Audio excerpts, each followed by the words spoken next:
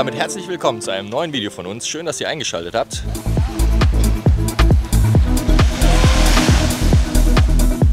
Ich bin noch gar nicht so lange wach, habe mir noch nicht mal die Haare gekämmt, wollte euch aber trotzdem heute mitnehmen, weil ähm, ja, wir euch einen ehrlichen Einblick geben wollen, warum wir vor über drei Jahren eigentlich in den Van gezogen sind und ähm, ja, warum wir mit Vanlife eigentlich angefangen haben. Herzlich willkommen.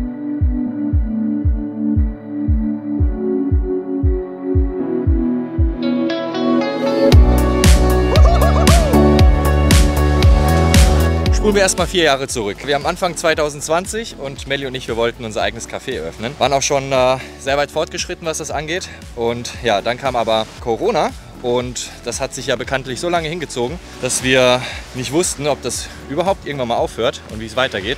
Also haben wir dann, uns dann im April 21 entschieden, wieder in unseren Van zu ziehen und erstmal ja, mit Kaffee um die Welt zu reisen. Denn wir haben gedacht, wenn die Leute nicht zu uns kommen können zum Kaffee trinken, dann fahren wir halt zu ihm. Zu dem Zeitpunkt war natürlich Reisen schon ein riesengroßes Thema und wir sind vorher von einer langen Backpacker-Reise, wo wir per Anhalter bis in den Iran gereist sind, schon zurückgekommen. Ja, deswegen hatten wir Reisen quasi schon in uns drinne und wir reisen natürlich super gerne, weil wir sehr neugierig sind und ja auch ein bisschen die Abenteuerlust suchen.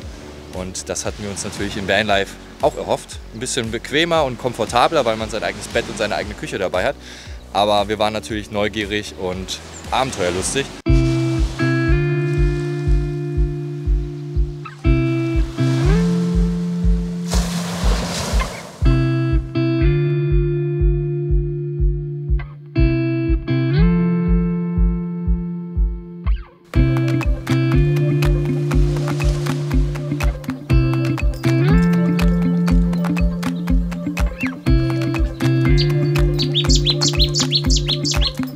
Waren mit super viel Kaffee-Equipment unterwegs und haben richtig viele Leute kennengelernt. Alle waren mega happy mit unserem Kaffee und ich glaube, wir sind so in dieser Community auch so weit bekannt, dass wir äh, tollen Kaffee zaubern können und richtig viel Equipment am Start haben. Und das haben wir dann natürlich auch genutzt und ähm, ja, irgendwann mal gesagt, okay, wir müssen ja auch ein bisschen Geld mit dem Kaffee verdienen. Äh, dann haben wir uns hingesetzt und haben ein Kaffeebuch geschrieben, was letztes Jahr im April für, äh, erschienen ist. Ja, neben Kaffee war uns natürlich auch mega wichtig, nah an der Natur zu sein. Wir hatten vorher in Mannheim gelebt und das Stadtleben eigentlich nur dafür genutzt, wofür wir es brauchen, nämlich um mal feiern zu gehen oder einzukaufen oder ein bisschen, bisschen Action zu haben. Aber ansonsten haben wir immer sehr gerne in der Natur gelebt und das ist natürlich beim Vanlife einer der Hauptgründe, weil ich finde, hier so aufzuwachen, ist natürlich wunderbar.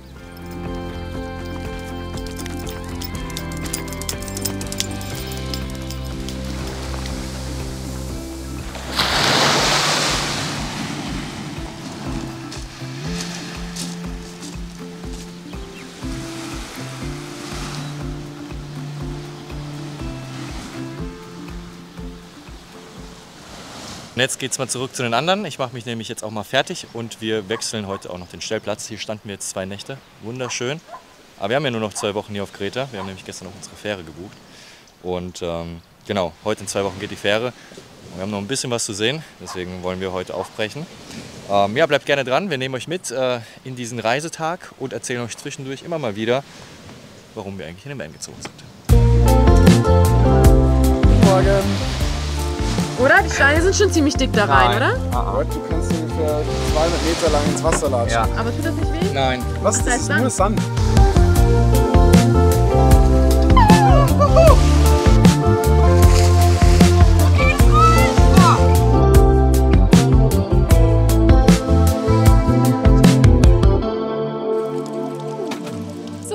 Abfahrbereit und es geht für uns weiter. Wir fahren jetzt ungefähr zwei Stunden. Wie viele Kilometer hast du gesagt? 80 Kilometer sind das Zwei Stunden für 80 Kilometer, wow.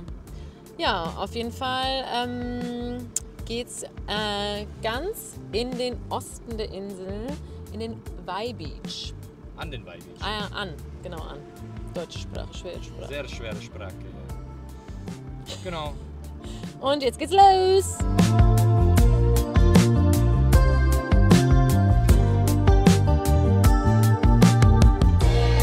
Heute schon den ganzen Tag unterwegs und einfach alle Stellplätze sind nichts. Und wir sind jetzt schon fünf Stunden unterwegs und jetzt haben wir uns hier fast festgefahren. Hier sieht es richtig, ja, nicht befahrbar aus. Und Ups. An solchen Tagen hasse ich Vanlife wie die Pest. Ich bin richtig langsam mies drauf und ich war heute richtig gut drauf. Äh, ja, hoffentlich finden wir heute noch was Schönes. Ja, aber es ist ja nicht das Video, warum wir Vanlife aufhören, sondern wieso wir überhaupt damit angefangen haben.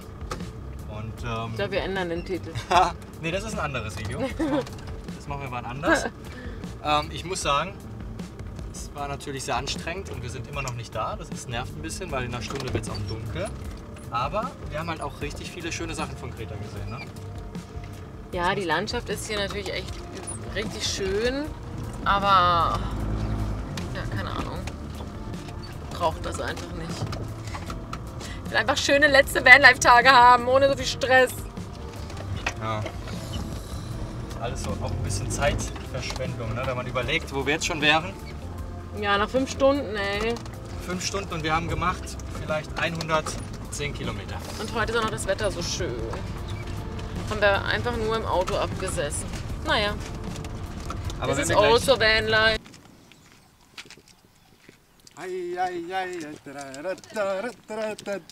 nix. Und? Stehen auf Ostgret. Nichts stehen auf Ausgerät, ne? Nix. Ah, hast du noch genug Sprit drin, dass wir hier wegkommen? So viel. So viel noch? Ja, Das sind 10 Liter? weiß nicht. Ja, vielleicht. Ja, zur nächsten Tanke schaffen wir es noch. Ja, ich habe ja auch noch 10 Liter dabei. Ich weiß noch nicht, ob ich sie jetzt auffüllen soll oder später.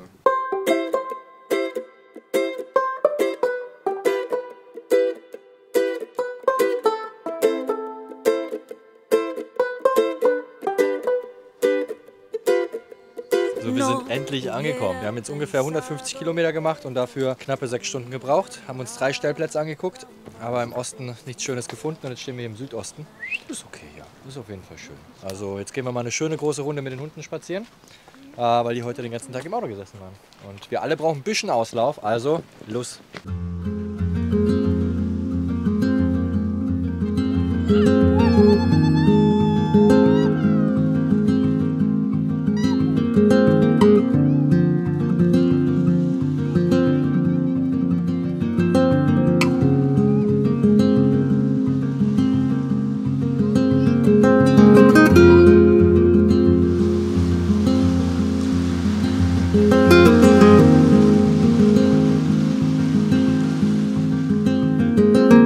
Zwar viel gefahren, es ist manchmal ein bisschen anstrengend, aber dafür haben wir halt auch richtig viel von der Insel gesehen. Wir wissen jetzt, wie der Osten von Greta aussieht und das ist auch so ein Grund, warum wir damals in den Van gezogen sind, weil wir halt einfach richtig viel sehen wollten. Wir wollten viel von Europa sehen und auch schauen, wie die Menschen woanders leben und wie es halt woanders aussieht.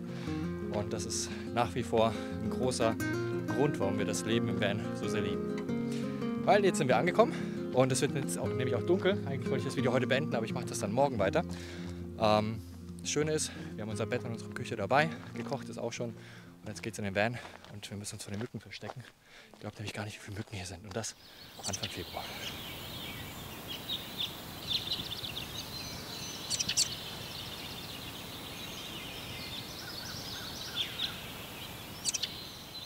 Es ist mittlerweile der nächste Tag und wir haben den Stellplatz gewechselt. Und zwar ähm, sind wir einfach nur fünf Minuten weitergefahren. Wir haben nämlich beim Spazierengehen einen richtig schönen Platz entdeckt und da schaut man direkt aufs Meer und steht nicht so auf dem Parkplatz. Und dann haben wir den Platz gewechselt und stehen jetzt hier, ich zeige euch das gleich mal, auf einem der schönsten Plätze, die wir entdeckt haben. Und das finde ich äh, auch so schön am Vanlife oder wir genießen das so sehr am Vanlife, dass man halt einfach so flexibel und so mobil ist und sobald einem ein Platz nicht gefällt oder der Nachbar nervt oder es irgendetwas anderes gibt, hat man sein, Haus, sein Zuhause ja dabei und kann direkt einsteigen und losfahren. Und jetzt haben wir hier was so Schönes entdeckt, dass wir hier gleich ein paar Tage stehen bleiben, bis uns das Wasser ausgeht.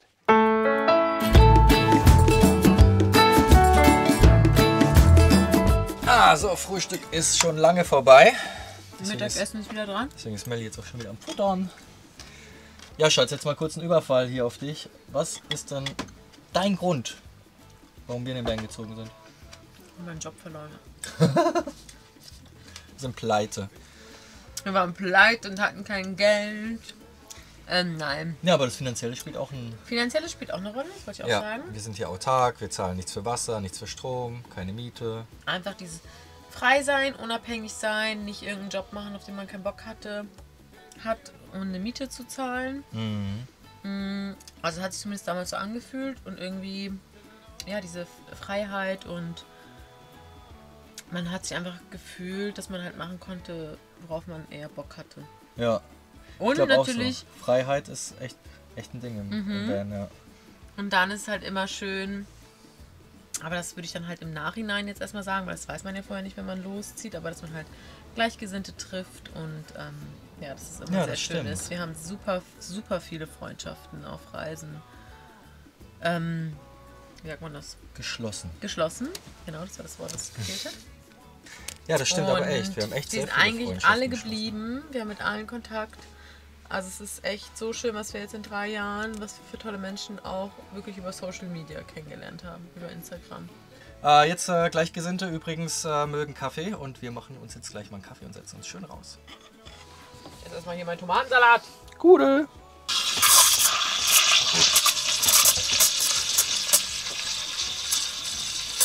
Ja, beim Latte Art machen ist es wichtig, dass wir erst ein bisschen Luft reinpumpen. Das hört man durch das Zischen.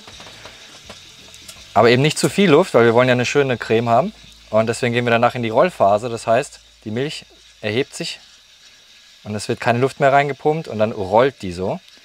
So werden die Luftbläschen gleichmäßig in der ganzen Kanne verteilt. Und dann ist es schön, wenn die Milch am Kännchen hängen bleibt, am Rand. Und wir so eine schöne, schöne, shiny, glossy Milch haben. Ja, jetzt ist der ähm, natürlich nicht der beste Espresso hier, aber normalerweise ist dann hier natürlich noch eine schöne Creme und dann fällt das auch ein bisschen einfacher, Latte Art zu machen. Jetzt gucken wir mal, dass hier was Gutes bei rauskommt.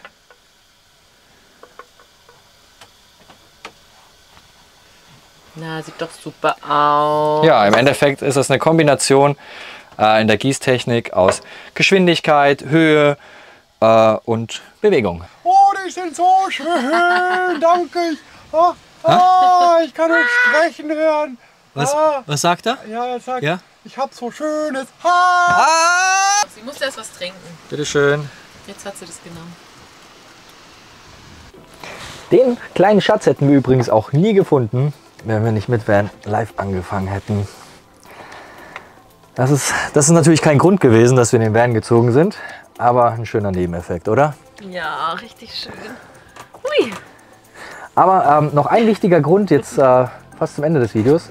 Und zwar sind wir auch in den Van gezogen, weil wir anfangs total überzeugt waren, ähm, dieses minimalistische und nachhaltige Leben zu führen. Also wir stellen unseren Strom selbst her, wir stellen, äh, wir verbrauchen super wenig Wasser. Ich meine, wir beide kommen in der Woche mit ungefähr 100 bis 140 Liter zurecht.